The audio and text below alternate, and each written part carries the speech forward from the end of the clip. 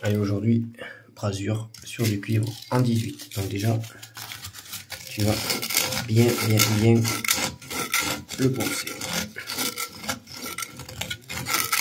Et t'enlèves les bavures. Tu vois, t'enlèves vraiment bien les bavures. Et tu fais la même chose sur le second. Hop. Et regarde la technique pour aller plus vite. Tu vas prendre ton papier. Tu vas le mettre comme ça. Tu tu fais un. Tu vas bien t'embêter. Hop. Et tu as la même chose au-dessus.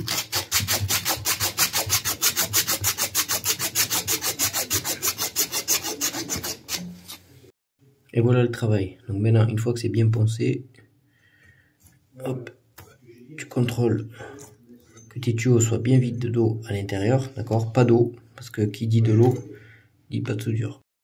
Donc tu vois, pour vider, alors soit tu souffles à l'intérieur du tuyau, soit tu prends un compresseur et tu essayes de vidanger le tuyau. Donc moi, ça y est, l'eau froide est bonne.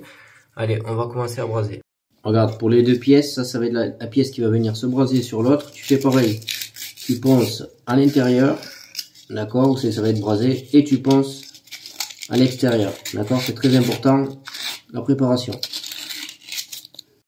Regarde, si c'est bien poncé et que tu as enlevé toutes les bavures, là, quand tu vas mettre ton raccord, hop, tu vois, il va se mettre tout seul, tu vois. Et le fait d'avoir bien poncé, ta préparation, elle est juste top.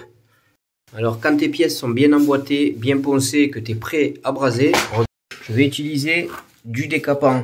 Alors en fait le décapant tu n'es pas obligé d'en mettre si le cuivre est neuf, d'accord? Et quand c'est cuivre, cuivre. Mais là comme j'ai envie de jouer la sécurité, on va mettre un peu de décapant un peu partout et on va braser.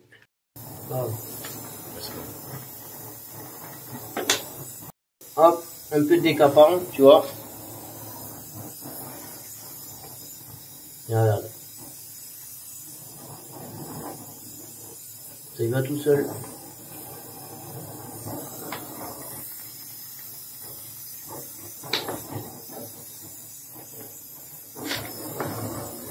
Donc ça y est, tu vois, la brasure est terminée. Donc j'ai pas pu tout, tout te filmer, mais au moins te filmer la partie qui était concernée. Maintenant, on va passer au nettoyage.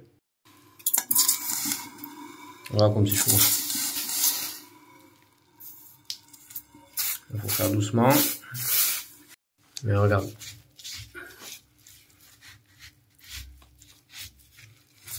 Et voilà. Tu vois. C'est parfait.